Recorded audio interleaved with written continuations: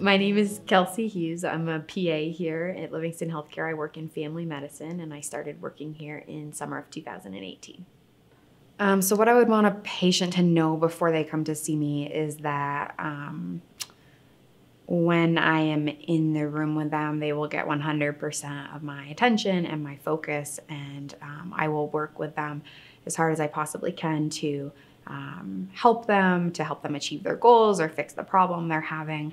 Um, and that I'm hoping, you know, that by being a PA here in family medicine, I'm increasing access for patients that they can get in and, you know, be seen when maybe their other provider is not available and that we can form a trusting relationship and then I can continue to work with them in the future.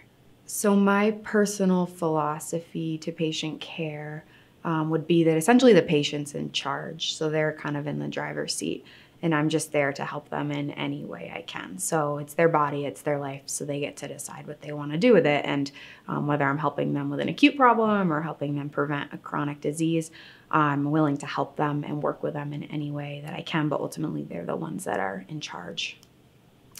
So I really like family medicine because I get to take care of patients of all ages. So um, I might see like a newborn baby, and then I might see someone who's 95 years old. And I really like that variety. Um, specifically, um, I like seeing middle aged or younger females. I like um, counseling people about women's health, birth control options. I like doing preventative care.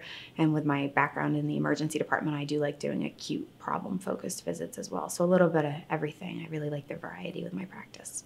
So outside of work, um, I like to spend time with my golden retriever, who's three years old, and my husband. Um, we like to camp and fly fish. I like to run. We hike a lot.